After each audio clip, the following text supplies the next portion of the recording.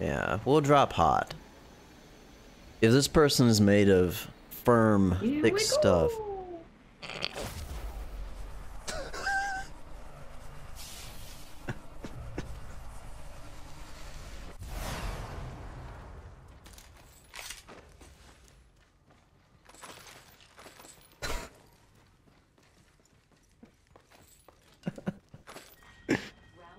Did. Alright, okay. This is gonna be an interesting game.